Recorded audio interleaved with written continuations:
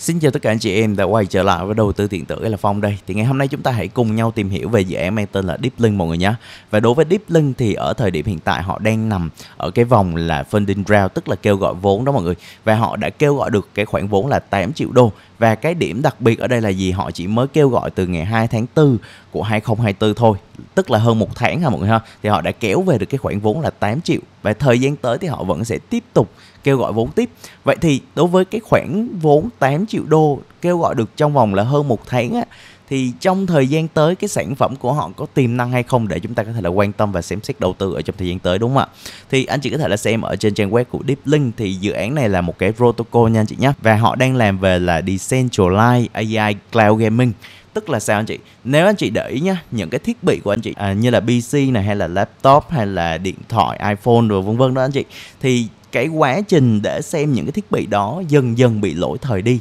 là ước tính khoảng 5 năm ha chị? À, cứ khoảng 5 năm là chúng ta thấy là thiết bị của chúng ta nó sẽ yếu dần đi, nó sẽ già đi và rất là nhiều những cái sản phẩm mới ra đời. Và cái lý do là vì sao anh chị? Lý do là do những cái phần mềm, những cái ứng dụng, ví dụ như là Photoshop này, hay là những cái phần mềm à, mà phục vụ cho công việc của anh chị đi, hay là gaming đi, thì càng lúc nó càng cải tiến, nó càng mạnh hơn, nó càng cần những cái thiết bị đồ họa hay là những cái CPU nó xử lý nó tốt hơn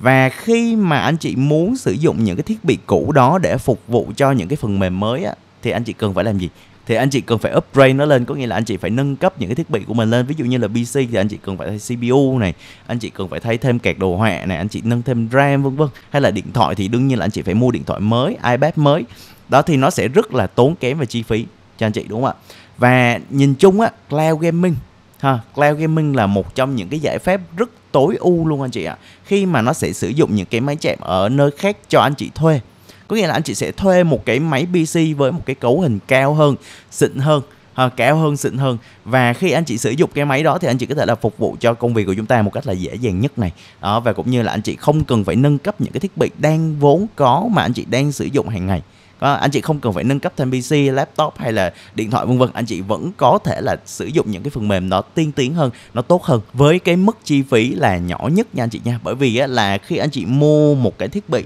à, để anh chị ví dụ anh chị chơi những cái tựa game uh, triple A đi những cái tựa game mà nó xịn và nó cần một cái máy tính nó khủng hơn á thì anh chị thấy rằng là anh chị phải bỏ ra cái số tiền vài chục triệu cũng có, đúng không anh chị? Thì thay vì đó thì anh chị có thể thuê hàng tháng một cái máy cloud gaming đó để anh chị có thể là chơi những cái tựa game đó bất cứ lúc nào và hoặc là bất cứ nơi nào. Anh chị muốn chỉ cần một cái thiết bị mà anh chị có cái kết nối mạng nó mạnh mẽ một tí thôi là anh chị có thể là sử dụng được rồi. Thì đây là cái tính năng mà em thấy rất là tốt. Và kèm theo đó thì họ cũng có nhắc đến là decentralized và cũng như là AI ở đây. Tức là sao anh chị? Họ sẽ kết hợp được cả game file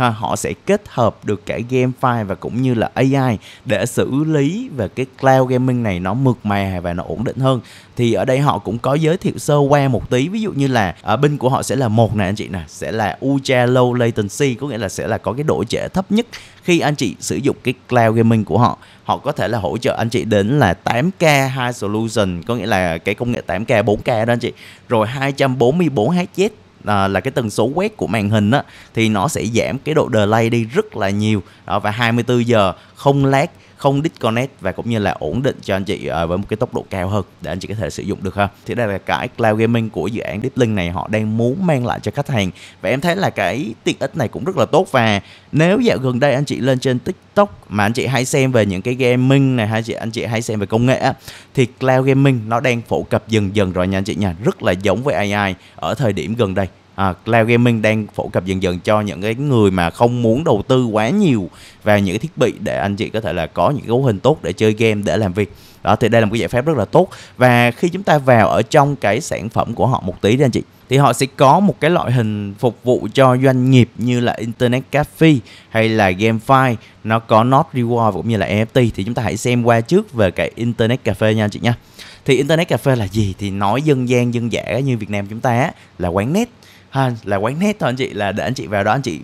thuê một cái máy PC sau anh chị làm việc anh chị chơi game bất cứ một cái sở thích nào của anh chị đều được và anh chị có một cái không gian để anh chị ngồi à, và anh chị thư giãn ở thì anh chị thấy rằng là họ có thống kê ở đây ví dụ như là ở, ở Korea thì họ đang có khoảng là 6.000 cái quán net ha, ở Trung Quốc lên đến là 40 ngàn Trung Quốc rất nhiều nha anh chị nha nếu anh chị nào mà đi Trung Quốc rồi thì anh chị thấy rằng là Trung Quốc ở đường phố rất là nhiều những cái quán net à, để mà người ta có thể chơi được. Nhưng mà bên uh, quán net ở bên Trung Quốc thì nó hơi khắc khe một tí vì là bên đó họ đang gọi như là có những cái ờ, biện pháp là khắc chế giờ chơi đối với trẻ vị thành niên vân vân. Nói chung là uh, quán net Việt Nam mình vẫn rất là, rất là sướng anh chị ha. Quán net Việt Nam mình vẫn sướng ai chơi cũng được. Rồi ở Brazil rồi ở Brazil á, thì là 10.000 quán net này Indonesia là 20.000 Philippines là 20.000, Việt Nam mình là 15.000 và cũng như là Thổ Nhĩ Kỳ là 5.000. Thì nhìn chung là ở trên à, toàn cầu thì có khoảng là hơn 150.000 cái quán net. Và ở đây họ cũng có đề cập đến những cái liên quan đến rủi ro. Đầu tiên là gì? Đây là một cái ngành công nghiệp đã có cái thời gian lịch sử là khoảng 20 năm ha, nó trở thành một cái ngành công nghiệp luôn rồi anh chị rất là nhiều người uh, bỏ tiền ra để đầu tư làm quán net để mà thu lợi nhuận về đó anh chị ở trên khắp thế giới và cái rủi ro duy nhất của nó là gì là không có khách đến chơi không có khách đến sử dụng đúng không anh chị? Thì anh chị thấy rằng như là covid 19 đi à, nếu mà anh chị lên trên mạng lên facebook hay là những cái hội nhóm anh chị thấy rằng là rất là nhiều người thậm chí còn lấy cả um, những cái máy pc của họ ra làm máy đèo tại vì đâu có khách đến đâu mà sử dụng đúng không anh chị? Trong vòng khoảng mấy năm trời đó. Thì đó là cái rủi ro của họ và rất là nhiều quán net ở sau covid thậm chí là sập tiệm. Bởi vì là họ không thể nào tiếp cận đến khách hàng của họ vì lúc đó ai mà ra đường mà chơi được không anh chị? Thì bây giờ cloud gaming lại một, là một giải pháp rất là tốt nha anh chị nha. Bởi vì sao? Bởi vì là nếu như bây giờ cái tình huống xấu đi, chúng ta không thể ra khỏi đường được. Hay là chúng ta gặp một cái diễn biến gì đó xấu như là covid đi chẳng hạn, thì làm sao anh chị có thể là ra quán net, đúng không? Thì họ sẽ tổ chức cho anh chị có thể là cloud gaming. Tức là những cái quán net đó, ha, những cái quán net đó có thể là lấy những cái máy pc của họ bật lên và anh chị có thể là điều khiển từ xa đến anh chị chơi với cái mạng lưới của DeepLink à, và cái DeepLink thì nó sẽ giải quyết cái bài toán giữa chủ doanh nghiệp của quán net và cũng như là khách hàng ở chỗ là nó sẽ giảm cái độ ừ, tốc độ ờ, đường truyền nó giảm cái độ lag xuống này. Và nó sẽ cung cấp cho anh chị được những cái khung hình hay là tốc độ âm thanh mạng vân vân mọi thứ nó sẽ ổn định hơn. À, nếu như anh chị sử dụng qua những cái um, công cụ bình thường của Windows như là thằng uh, Remote Desktop ha, Remote Desktop thì anh chị thấy rằng rất lag khó để mà chúng ta có thể là chơi game hay là xem phim được nhưng mà đối với Deep Link thì họ sẽ giải quyết được bài toán đó và giải quyết được cho cả những quán net luôn anh chị ví dụ như thường ngày kinh doanh truyền thống anh chị tới quán net chơi được nếu anh chị không thích tới quán net chơi anh chị vào hệ thống của Deep Link anh chị thuê một cái máy của quán net đó và sau đó anh chị ngồi anh chị chơi ở nhà anh chị chỉ cần một cái iPad hay là anh chị chỉ cần một cái laptop là anh chị ngồi anh chị chiến game uh, triple A được luôn rồi nha anh chị nha. Không cần phải ra net nữa. Và cái tiền thuê của nó thì cũng sẽ tương đối là ổn định hơn. Và anh chị có thể là nằm trên giường anh chị chơi game cũng được hay là anh chị ra ngoài công viên hay bất cứ nơi đâu chỉ cần có mạng ổn định là anh chị đã có thể là chơi game ở trên Deep Link được rồi nha anh chị nha. Đây là một giải pháp rất tối ưu dành cho uh, những cái quán net ở trên khắp thế giới khi mà kết hợp cái công nghệ của Deep Link vào. Đây thì họ cũng đã nói rất là rõ đây. À, như là không à, sẽ giảm thiểu bớt đi những cái liên quan đến phần cứng này à, rồi sẽ gia tăng về cái trải nghiệm khi mà chơi game nó tốt hơn này. Rồi có thể là truy cập ngay lập tức vào những cái tựa game mới nhất này. Rồi là tiết kiệm về không gian và cũng như là tiết kiệm về điện năng. Rồi à, dễ dàng để mà có thể là quản lý và cũng như là à, bảo à, thì đây là những cái phương pháp để có thể là áp dụng cho những cái quán net. Đó thì em thấy đây là một cái cái tiện ích khá là tốt anh chị ha tiện ích khá là tốt. Dành không chỉ là cho quán net mà dành cho cả user anh chị lười ra net thì anh chị có thể là ngồi ở nhà bật cái máy tính của bắp của mình lên vẫn có thể là chơi game chiến game rất là tốt. Đó đây là một cái giải pháp mà em thấy là trong tương lai nó sẽ rất hữu ích nha anh chị nha. À, thay vì bỏ mấy chục triệu ra mua một cái máy tính hay một cái uh, laptop hay là một cái ipad thì cứ thông qua Deep Link rồi có thể là thuê được những cái máy xịn rồi nha anh chị rồi tiếp đến là họ còn có liên quan đến GameFi thì họ cũng có nhắc đến GameFi một tí anh chị. Thì đối với GameFi á, thì họ sẽ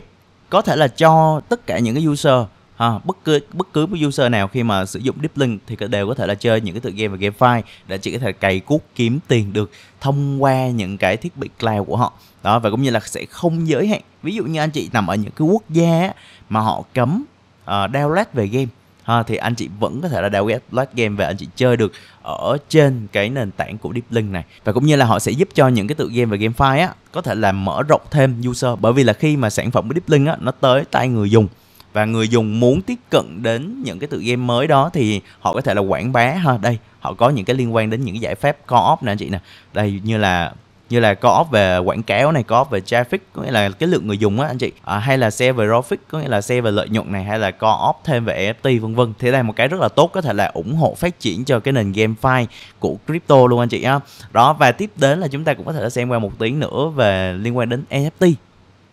đây NFT thời điểm hiện tại thì họ đang có hai loại hình NFT là à, là professional version và cũng như là team version. Thì đối với NFT thì họ đã có những cái quyền lợi đầu tiên như là anh chị có thể là những airdrop ha khi anh chị có NFT của thằng này thì anh chị sẽ nhận được airdrop này. Rồi khi mà anh chị chơi những cái tự game về game file thì anh chị cũng sẽ nhận được những cái token airdrop của những cái game file đó. Rồi anh chị có quyền để vote để chạy những cái game nào ở trên cái hệ sinh thái của Deep Link này. Rồi anh chị có thể là mua những cái game NFT um, gọi như là giảm giá này. Rất là nhiều quyền lợi ha rất là nhiều quyền lợi luôn anh chị. Thì khi mà so sánh giữa professional là chuyên nghiệp và cũng như là team so với basic thì nó sẽ tối ưu hơn rất là nhiều anh chị. Với basic thì chỉ được 1080b và 60 fps thôi thì nó sẽ gọi như là cản trở về cái trải nghiệm về những cái tự game fps của anh chị. Còn đối với lại professional version là được 4k hay là team cũng sẽ được 4K 240 fps thì đây sẽ là một cái tốc độ khung hình khá là tốt ha. À, còn về professional version á, thì sẽ được một người cũng như là basic một người à, một cái thiết bị thôi chị một cái thiết bị sử dụng trong cùng một lúc thôi. Rồi còn team version sẽ được là 5 thiết bị nha chị nha 5 thiết bị. Và cái tổng thiết bị ở đây thì anh chị thấy rằng là 200 300 và cũng như là 1000 và và cũng như là những cái người dùng mà có hai cái NFT này thì cũng sẽ được uh, full chức năng ha full chức năng. Thay vì là basic thì nó sẽ bị giới hạn rất là nhiều những cái tính năng khác ở trên cái máy của họ ở trên cái cloud gaming của họ nha anh chị. Thì nhìn chung từ nãy giờ chúng ta thấy rằng cái dự án này nó mang lại lợi ích khá là nhiều không chỉ cho doanh nghiệp mà còn cho user nữa thì anh chị có thể là khám phá một tí nữa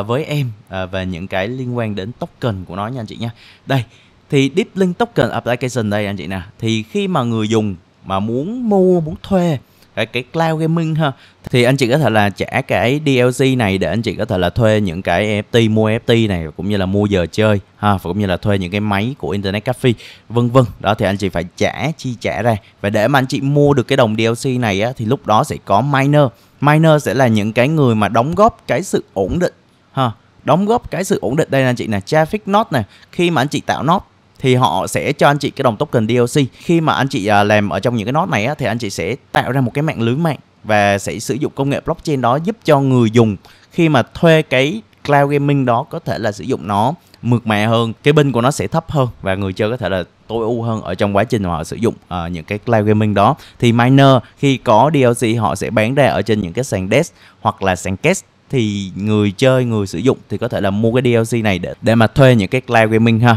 Và ở đây cũng có một cái điểm đặc biệt là gì? Khi mà người chơi á, họ bỏ tiền ra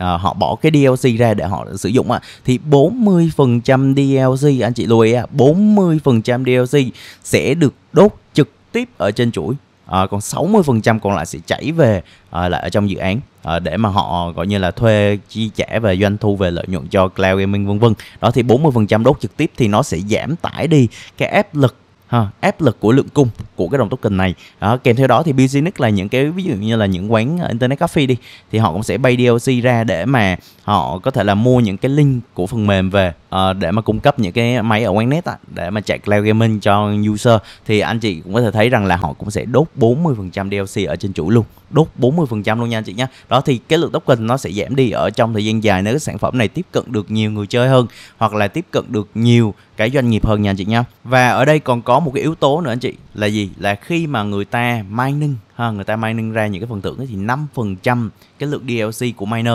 sẽ được uh, gọi như là chi trả như là USDT hay là ETH uh, ờ, tương đương ha quy ra tương đương để mà cung cấp thanh khoản cho sàn DEX uh, ờ, cung cấp thanh khoản cho sàn DEX anh chị uh, để mà họ có thể duy trì dự án duy trì cái token của họ ở trong cái thời gian dài hơn càng nhiều thanh khoản thì à, cái tỷ lệ mà họ tăng trưởng nó càng tốt. Đó đó là cái mà anh chị có thể thấy à, họ đang làm rất là tốt ha. Rồi tiếp đến là về roadmap và plan thì họ đã chạy từ khoảng 2020 cho đến thời điểm hiện tại rồi ha cho đến thời điểm hiện tại là 2024 rồi. Thì chúng ta hãy xem ở cái bước 2024 này ở quý 1 2024 thì họ đã uh, ra những cái tính năng là hỗ trợ về game ha hỗ trợ về game ở trên bản web.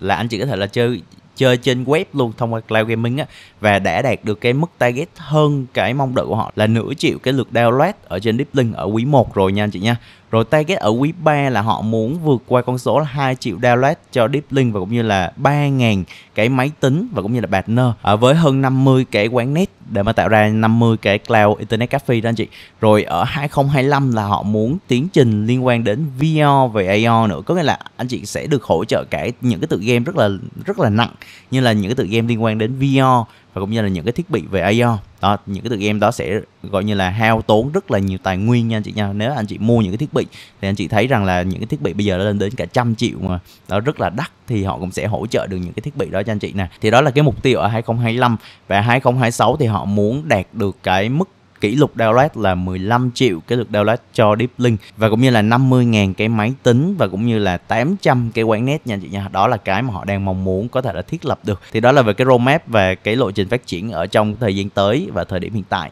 Và cũng như là ở trong cái uh,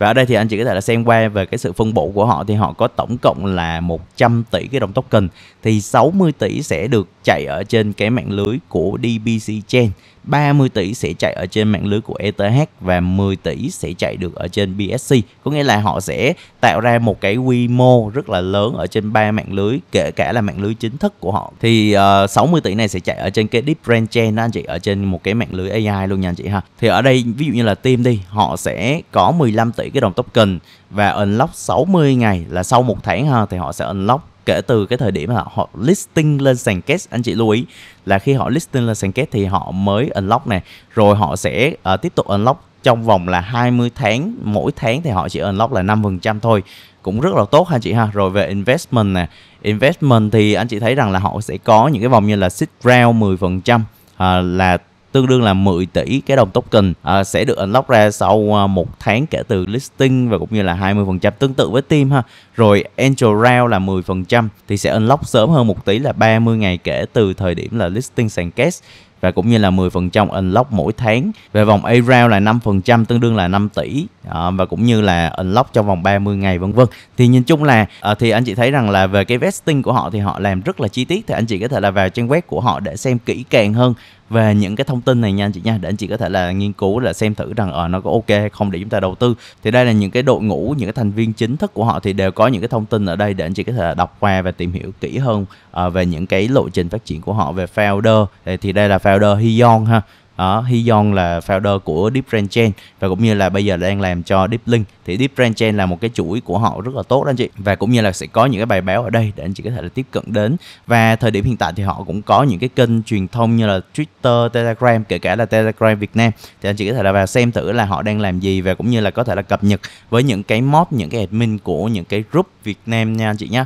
và đây là Twitter của họ thì cũng có tới là 165.000 người theo dõi một con số rất là ấn tượng. À, để anh chị có thể là cập nhật những cái thông tin để anh chị follow theo. Và ở đây thì họ cũng có một cái sự kết hợp rất là tốt anh chị. À, ở trong cái chương trình NVIDIA Inception Program ha chị ha? À, thì đối với những cái chương trình như thế này thì à, uh, NVIDIA ở trong những năm gần đây thì họ làm rất là tốt anh chị à, họ tạo ra những cái chương trình để mà à, những cái dự án về crypto họ có thể là phát triển được. Ha, và đặc biệt là những cái dự án crypto làm về AI nữa anh chị. À, khi mà Nvidia là một trong những ông lớn làm về các đồ họa này và hầu như là phần lớn những con AI ở trên thế giới bây giờ thì đều xài những cái phần cứng uh, của Nvidia ha để mà phát triển AI anh chị. Uh, để mà tạo ra những con AI nó học tập và nó thông minh hơn ha anh chị ha. Và đây cũng là một cái yếu tố mà anh chị có thể thấy rằng là ở trong thời gian tới thì cái dự án này nó có thể là build ra được à, những con AI nó chất lượng à, và cũng như là để phục vụ cho à, cái mạng lưới của DeepLink ha. Và ở thời điểm hiện tại như anh chị thấy ở trên trang web là họ cũng đang mở bán cái vòng public sale thì anh chị có thể là vào đây để anh chị có thể là xem là họ bán với mức giá nào. Thì hiện tại họ đang bán với mức giá là 0.003 à, USDT một DLC ha chị ha. Anh chị có thể là KYC ở đây. Đó, để anh chị xác thực KYC và anh chị có thể là mua được. Và trong video ngày hôm nay nếu anh chị muốn mua hay đầu tư vào dự án này thì anh chị lưu ý là anh chị cần phải à, đưa ra những cái quyết định của bản thân mình ha. Phải tự phân tích và cũng như là chịu trách nhiệm với cái quyết định đầu tư của mình nha anh chị nhé ở trong thời gian tới và nếu như dự án này ở trong thời gian tới mà có thêm những cái thông tin gì à, mà cần cập nhật đến anh chị thì em sẽ cập nhật nhanh chóng cho anh chị qua Telegram hoặc là YouTube để anh chị bám chặt hơn về một cái dự án đang làm về một cái mảng rất là mới và cũng như là cái tiềm năng phát triển của nó cũng rất là tốt à, như những gì chúng ta đã giới thiệu ở trong ngày hôm nay. Và rất là vui khi anh chị đã xem đến hết nội dung video ngày hôm nay và hẹn gặp lại tất cả anh chị ở trong những nội dung video lần sau.